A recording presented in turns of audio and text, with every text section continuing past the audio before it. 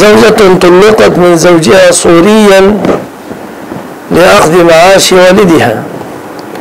التطليقة محسوبة. وإذا ردها الزوج بعقد جديد وصداق جديد وولي وشهود فمحسوبة تطليقة. محسوبة زيجة. محسوبة زيجة جديدة. ولكن هذا في غش للدولة.